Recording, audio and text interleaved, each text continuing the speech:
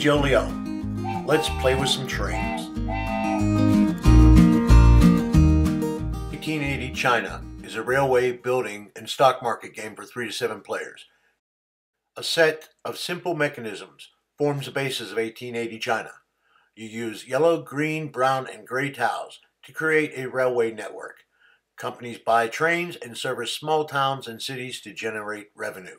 This revenue earns money for the company and its shareholders. 1880 China setup. Arrange the boards on the table as convenient. This setup shows the components from the Double O Games production of 1880. According to the forums on Board Game Geek, it will get a reprint by Lookout Games in October. All we have right now is the proposed box cover. Continuing with setup. One player is chosen to be the banker. There should be sufficient space to lay out the bank's money and other components. Starting capital varies. For a four-player game, it is 480 UN. Next, the private companies, shares of companies, train building permits are laid out in their assigned places. The companies that are available for players to purchase are called share companies. They are stacked on this board in a particular order. First, place a stack of five 10% shares. Then the capitalization card followed by three more 10% shares. Finally, add the three director shares. When a company is floated, it will be decided which director's certificate is needed and then adjust the 10% shares to total 100%. Place the tiles near the map so everyone can see what track is available. I use jewelry trays to allow passing it around the table. One number card randomly to each player. This is the temporary turn order for the auction. The lowest number is the priority player. Everyone sits in numerical order from the priority player. Seating order will change after the initial auction, so don't get too comfortable. The initial auction. There are eight private companies, numbered from 0 to 7, that provides players with special powers. Unlike most 18xx games, these privates cannot be bought by the share companies, and the power belongs to the player. In most cases, it is applicable to all of that player's companies. Let's look at the privates in detail before describing the auction. P0 has a minimum bid of 5 UN and no income. It pays the owner 40 when the last 2 plus 2 train is bought, 70 when the last 3 train is bought, or 100 UN when the last 3 plus 3 train is purchased. P1 has a minimum bid of 10 UN and pays 5 UN income at the start of each operating round. It has no special power. P2 has a minimum bid of 25 UN and an income of 10 and allows the owner to use all ferries free of charge for all of his companies.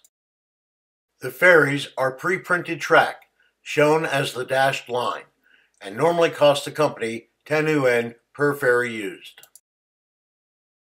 Taiwan off-board location is normally worth 30 during yellow and green phases, and no value following the start of the brown phase.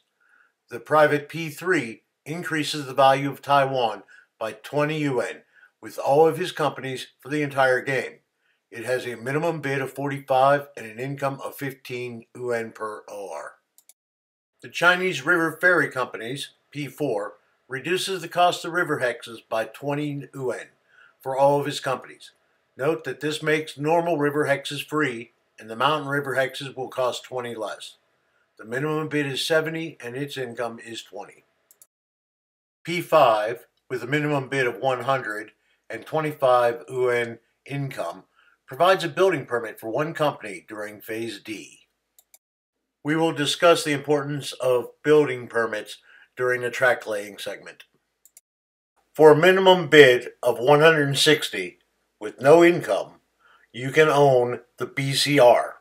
This private gives you the 20% director share card at 100. The BCR is able to build two yellow tiles per turn. The Rocket of China P7 is the last private. It requires a minimum bid of 50 UN and provides no income. The player owning this private may exchange it for the next available train during the operation of a company. This must be completed before the four trains are broken. If the first four train is bought before this is traded in, it is immediately traded in for the second four train. The private companies are auctioned off in sequence.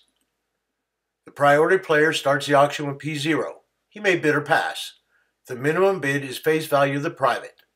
Each player bids in 5 yuan increments until no player wishes to bid higher. The winner pays the bank and the auction continues with the next private. Once a player passes on a private, they may not re-enter the bidding. The next private auction is started by the player to the left. This continues until all of the privates have been sold. Seating order is reestablished after all the privates are sold. The player with the least money becomes a priority player. The rest of the players sit clockwise in ascending money order. The foreign investors. After the auction, each player may, at no cost, choose one of the seven foreign investors. The foreign investors not selected are removed from the game. The foreign investors run each operating round in numerical order immediately after the payment of private revenue. Each start in a designated spot on the map. Russia starts in the northwest corner. Japan, number two, is on the east coast. Belgium is located in the center. Germany, number four, is just south of Japan. British, Portuguese, and the French start along the south edge of the map. They operate like normal companies, except the following. They can only build or upgrade one cow per turn. They do not buy trains, they lease the current train from the bank each run. Investors do not need building permits. They do not have shares, and income earned is always retained by the foreign investor. As soon as the owning player founds his first company, one share of this company is placed on the charter of the foreign investor. This share is reserved for the owner of the foreign investor. As soon as the two railways have at their disposal a joint network, the foreign investor is joined to the normal company.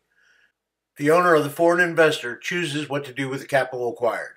It can go wholly into the treasury of the normal company, or the owner takes 20% for himself. The remaining 80% goes to the bank. The company may take over the station marker of the foreign investor. This is free of charge. Just replace it with the lowest cost station marker. The owner gets the share and a $50 UN takeover bonus.